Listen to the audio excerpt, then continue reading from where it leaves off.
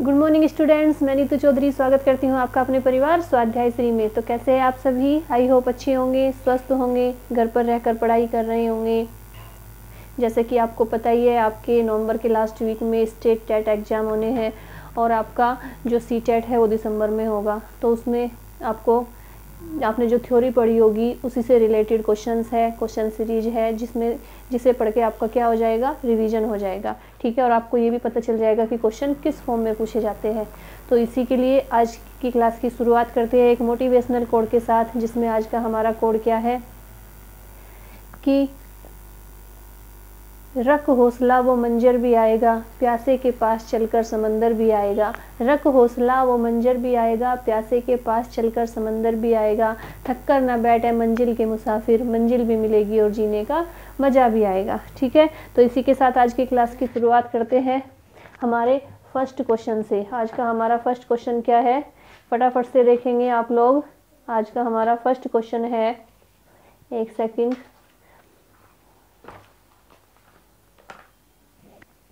कि आप एक अति अति सक्रिय बालक, आज आप एक अति सक्रिय बालक को कैसे सही दिशा में लाएँगे? फ़र्स्ट ऑप्शन है कि उसे पहली पंक्ति में बिठाएँगे तथा उस पर कड़ी नज़र रखेंगे। दूसरा ऑप्शन है उसे कक्षा के कोने में बैठने की जगह निर्धारित करेंगे। तीसरा ऑप्शन है उसे श्याम पट आदि साफ़ कराने का काम देंगे। और लास्ट ऑप्शन है कि उपरोक्त में से कोई नहीं, या इनमें से उससे कुछ नहीं कराएँगे। तो बताइए कि जो एक अति सक्रिय बालक होता है, यानी बहुत ज़्यादा एक्टिव बालक होता है, उसे आप सही दिशा में लाने के लिए क्या करेंगे? आप लोग इसका आंसर देंगे फटाफट से। इसका आंसर क्या होगा? हमारा इसका आंसर हो जाता है, हमारा उसे श्यामपट आदि साफ़ करने के लिए देंगे। क्या देंगे? उसे श्यामपट आदि साफ़ करने का काम देंगे ठीक है? नेक्स्ट क्वेश्चन आता है हमारा कि प्रतिभाशाली होने का संकेत निम्न में से निम्न में से क्या नहीं है क्या नहीं है और क्या है? इस चीज़ पे ध्यान देते हुए चलेंगे क्योंकि आप लोग कंफ्यूज कंफ्यूज हो जाते हैं वहाँ पे और आप पूरा क्वेश्चन ही नहीं, नहीं पढ़ते पूरा उसमें से जैसे ही आपने यहाँ तक पढ़ा कि प्रतिभाशाली होने का संकेत क्या है तो आप फटाफट से आंसर लगा देते हो। देना हमें आंसर नहीं नहीं है, क्या नहीं है, ठीक है? तो हमेशा पूरे क्वेश्चन को पढ़िए, तब जाके आंसर लगाइए, ठीक है? तो इसमें से इसका आंसर क्या हो जाता है? क्या विचारों में सृजनात्मकता है? क्या दूसरों के साथ लड़ना है? क्या अभिव्यक्तियों में अनूठापन है? या कौतूहल है? यानी जो प्रतिभाशाली होने का संकेत है, वो इनमें से कौन सा नहीं है? फटाफट से बताएँगे। तो इसका आंसर हो जाता है हमारा ऑप्शन बी, यानी दूसरों से लड़ना। जो प्रतिभाशाली बच्चे होते हैं, वो दूसरों के साथ नहीं लड़ते। नेक्स्ट क्वेश्चन देखेंगे। थर्ड नंबर क्वेश्चन है हमारा।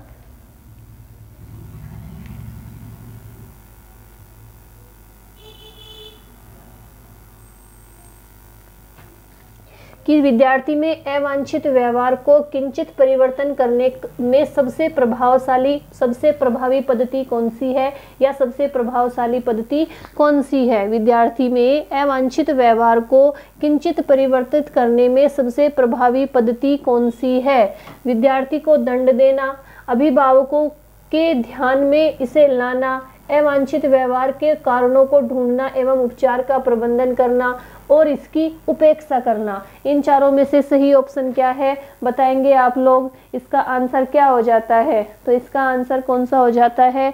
अवांछित व्यवहार के कारणों को ढूंढना और उन उपचार का प्रबंधन करना। यानी जो ऐसे अवांछित कारणों को ढूंढ का, ढूंढना और उनका उपचार करना, यानी निदान करना कि समस्या क्या है प्रॉब्लम क्या है, उसे दूर करना, उसका उपचार करना।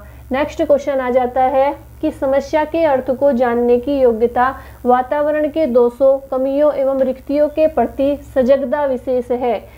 समस्या के अर्थ को जानने की योग्यता वातावरण के दोषों, कमियों एवं रिक्तियों के प्रति सजगता विशेष है। इनमें से कौन सी प्रतिभाशाली बालकों की सामान्य बालकों की या सृजनशील बालकों की या उपरोक्त में से कोई नहीं। फटाफट से बताएँगे कि जो समस्या के अर्थ को जानने की योग्यता है, वो वातावरण के 200 कमियों एवं रिक्तियों के प्रति सजगता विशेष है। कौन से बालकों की? प्रतिभाशाली बालकों की, सामान्य बालकों की, या सृजनशील बालकों की, या उपरोक्त में से कोई नहीं? फटाफट से इसका आंसर बताएँगे। Fourth number question. तो इसका आंसर हमारा क्या हो जाता है? थर्ड ऑप्शन हो जाता है, यानी सृजनशील बालकों की। ठीक है? नेक्स्ट क्वेश्चन देखेंगे। फिफ्थ नंबर पे है, अध्यापक के दृष्टिकोण से। अध्यापक के दृष्टिकोण से प्रतिभाशालिता किसका संयोजन है? अध्यापक के दृष्टिकोण से प्रतिभाशालिता किसका संयोजन है? बताएँगे फटाफट से।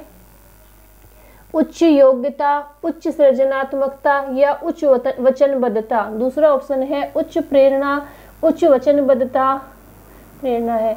उच्च क्षमता। तीसरा ऑप्शन है उच्च योग्यता, उच्च क्षमता, उच्च वचनबद्धता। फोर्थ ऑप्शन है उच्च क्षमता, उच्च सृजन सृजनात्मकता या उच्च स्मरण शक्ति।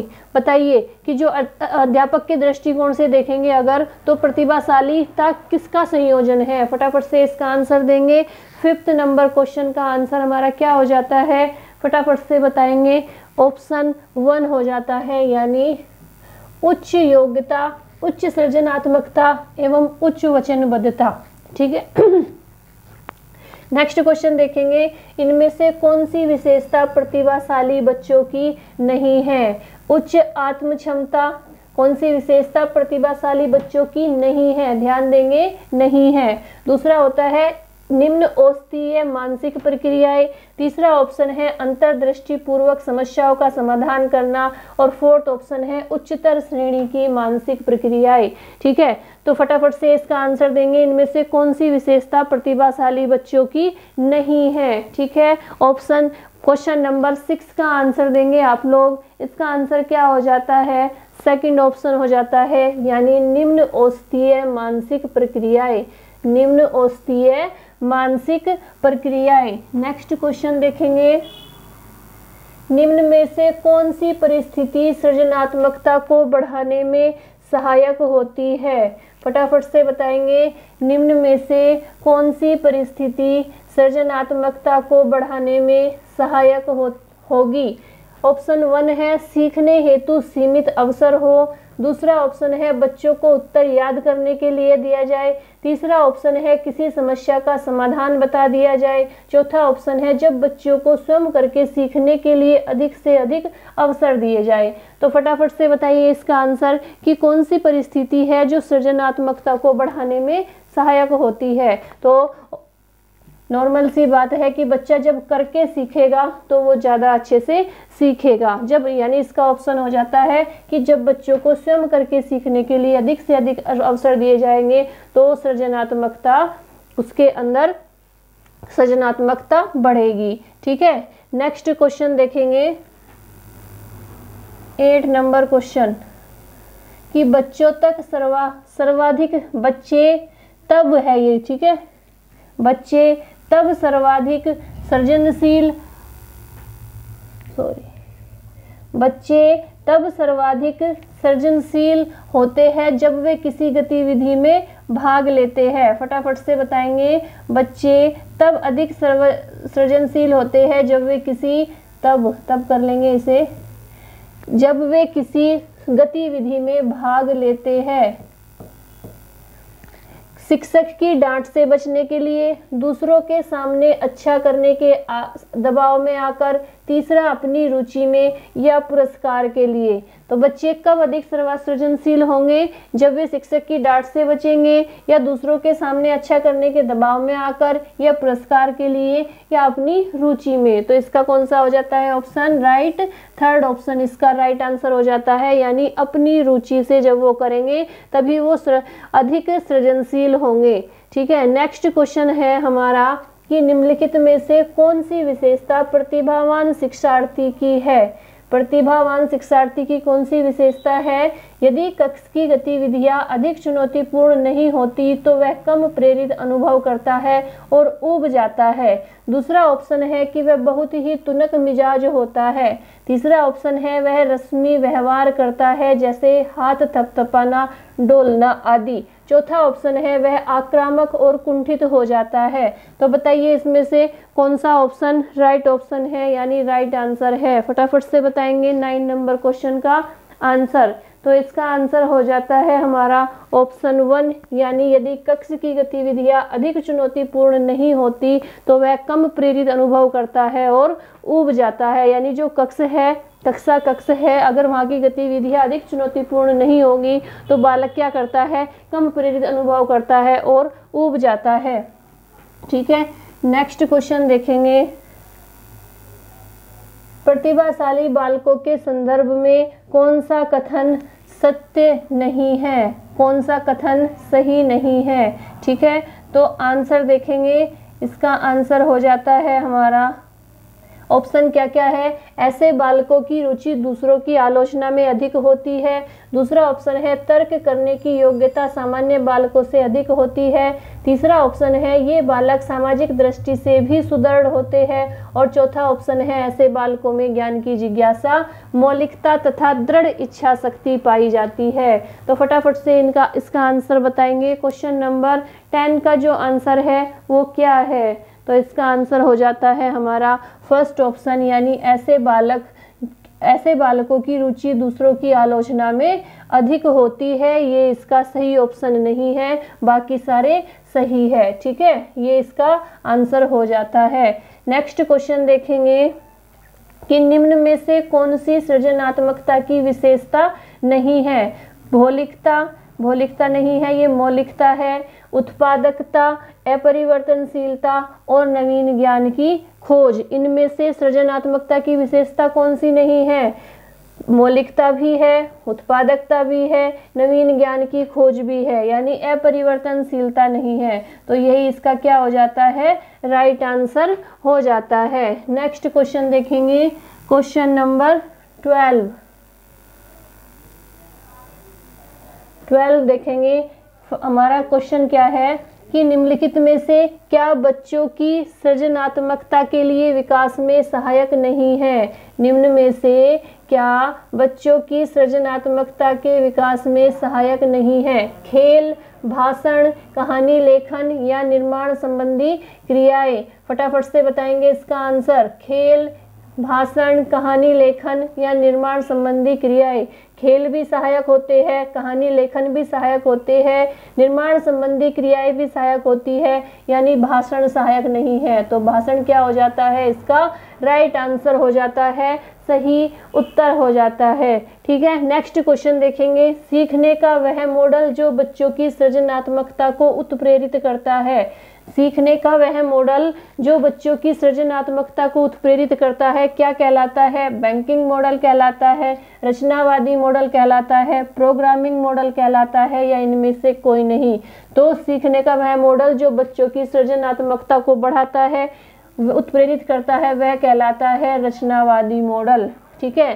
नेक्स्ट क्वेश्चन देखेंगे कि एक मेधावी छात्र अध्ययन में बेहतर उपलब्धि हासिल नहीं कर पा रहा, कर पा रहा। शिक्षक को निम्न में से उसके लिए कौन सी गतिविधि अपनानी चाहिए?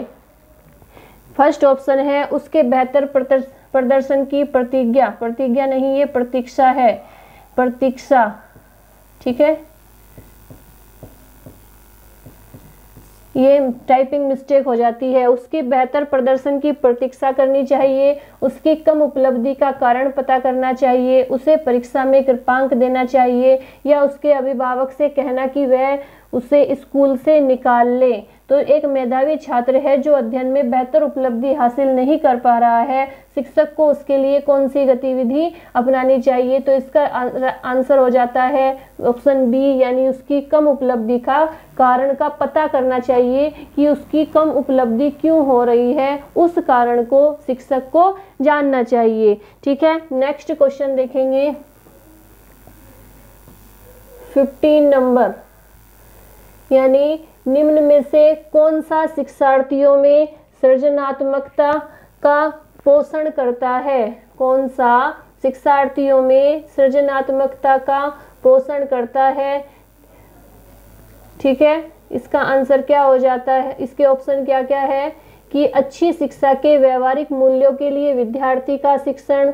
दूसरा हो जाता है, प्रत्येक शिक्षार्थी की अंतर्जात प्रतिभाओं का पोषण करने एवं प्रश्न करने के अवसर उपलब्ध कराना तीसरा ऑप्शन हो जाता है विद्यार्थी जीवन के प्रारंभ से उपलब्धि के लक्ष्यों पर बल देना और चौथा ऑप्शन हो जाता है परीक्षा में अच्छे अंकों के लिए विद्यार्थी की कोचिंग करना। तो बताइए कि शिक्षार्थियों में सृजनात्मकता का पोषण करता है, इनमें से कौन सा ऑप्शन इसका राइट आंसर हो जाता है? 15 नंबर क्वेश्चन का आंसर बताएँगे आप लोग। तो इसका आंसर हो जाता है प्रत्येक शिक्षार्थी की अंतरजात प्रतिभाव का पोषण करने एवं प्रश्न करने के अवसर उपलब्ध कराना। नेक्स्ट क्वेश्चन देखेंगे कि प्रतिभाशाली विद्यार्थी प्रतिभाशाली विद्यार्थी कैसे होते हैं? यानी स्वभाव के अंतर्मुखी होते हैं। दूसरा ऑप्शन है अपनी आवश्यकताओं को दृढ़ता पूर्वक नहीं कह पाते। तीसरा ऑप्शन है अपने निर्णयों में आत्मनिर्भर होते हैं। और चौथा ऑप्शन है शिक्षकों से स्वतंत्र होते हैं। ठीक है? बताइए प्रतिभाशाली बालक कैसे होते हैं? अपने स्वभाव के अंतर्मुखी होते हैं, अपनी आवश्यकताओं को दृढ़ता पूर्वक नहीं कह पाते, शिक्षकों से स्वतंत्र होते हैं या अपने निर्णयों में आत्मनिर्भर होते हैं। तो ये बिल्कुल सही ऑप्शन है, जो प्रतिभाशाली बालक होते हैं, वो अपने निर्णयों में आत्मनिर्भर होते हैं, अपने जो फैसले होते हैं, उनमें आत्मनिर्भर होते हैं। नेक्स्ट क्वेश्चन देखेंगे। सिक्सटीन ये फिर से सेवनटीन कर दिया। सिक्सटीन सेवनटीन तो अब ये एटीन नंबर आएगा, ठीक है?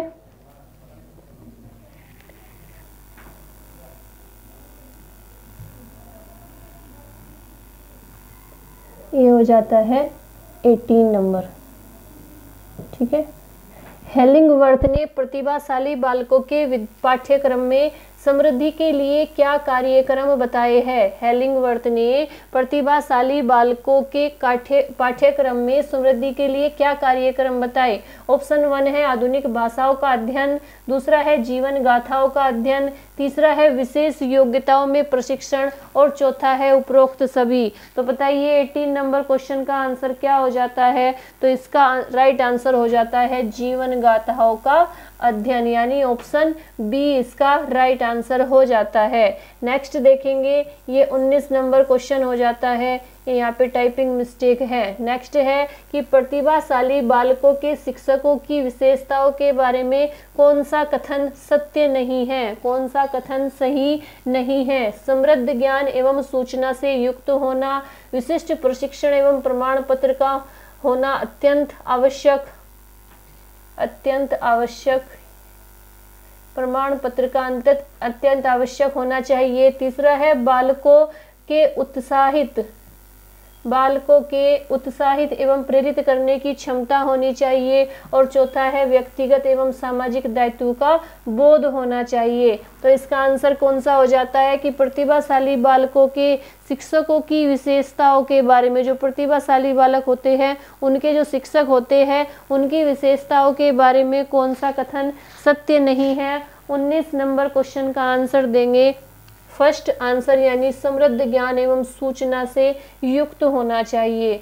नेक्स्ट क्वेश्चन देखेंगे कि अनिवार्य रूप से किसी नई वस्तु का सृजन करना ही सृजनात्मकता है। यह कथन किसका है? अनिवार्य रूप से किसी नई वस्तु का सृजन करना ही सृजनात्मकता है। यह कथन किसका है? यह कथन कथन है टोरेंस का, यानी ऑप्शन थर्ड इसका राइट आंसर हो जाता है। क्वेश्चन नंबर बीस का। ये बीस हो जाता है, ट्वेंटी हो जाता है। ठीक है? ये टाइपिंग मिस्टेक है। नेक्स्ट क्वेश्चन देखेंगे।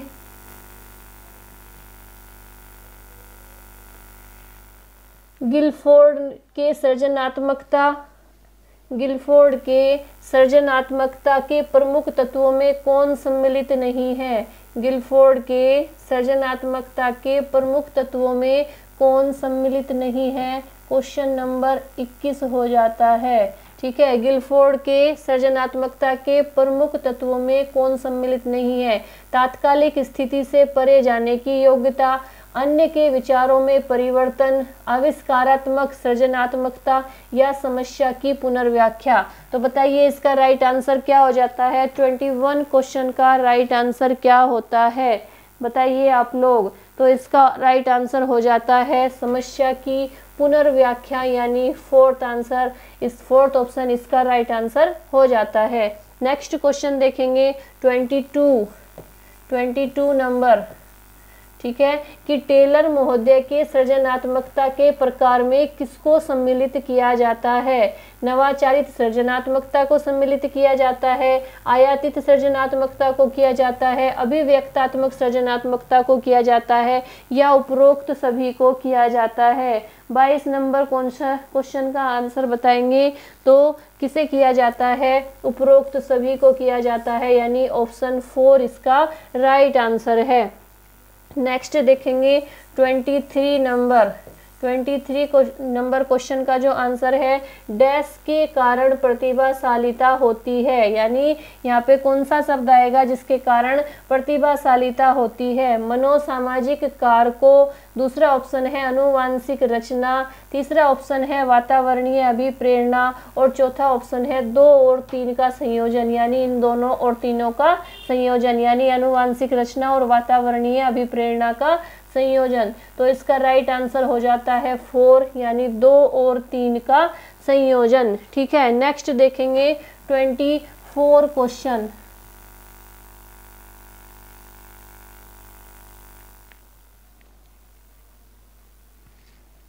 twenty four question देखेंगे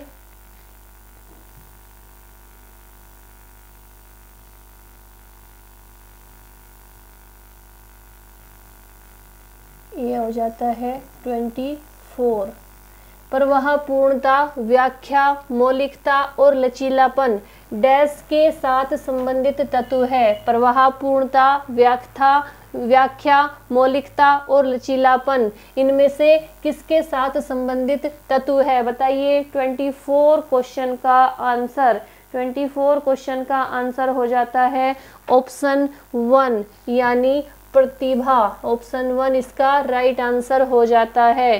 ठीक है? नेक्स्ट क्वेश्चन देखेंगे। प्रतिभाशाली शिक्षार्थियों को, प्रतिभाशाली शिक्षार्थियों को डैश से जुड़े प्रश्नों पर अधिक समय देने के लिए कहा जाता है।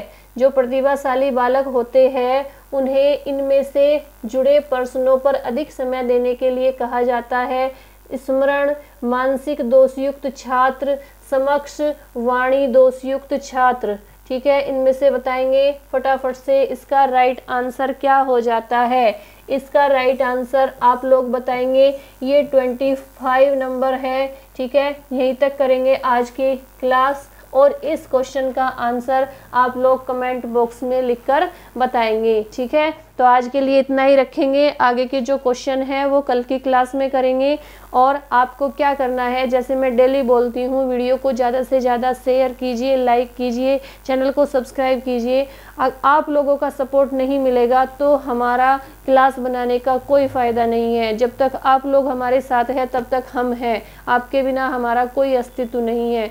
तो प्लीज़ वीडियो को ज़्यादा से ज़्यादा शेयर कीजिए, पाँच मिनट निकालिए और अपने फ्रेंड्स सर्कल में, अपने जो भी आप सोशल मीडिया यूज़ करते हैं व्हाट्सअप फेसबुक टेलीग्राम इंस्टाग्राम जो भी करते हैं तो प्लीज़ पाँच मिनट निकाल कर वीडियो को शेयर कीजिए और सपोर्ट कीजिए, क्योंकि आप सभी के सपोर्ट की बहुत ज़्यादा ज़रूरत है और आप लोगों का सपोर्ट बिल्कुल भी नहीं मिल रहा है, इसलिए निराशा महसूस होती है, लगता है कि हमारी मेहनत बेकार जा रही है, कुछ भी नहीं हम हासिल कर पा रहे ठीक है? तो प्लीज़ वीडियो को ज़्यादा से ज़्यादा सपोर्ट कीजिए। आज के लिए इतना ही रखेंगे। कल के क्लास में फिर नए क्वेश्चंस लेके आएँगे।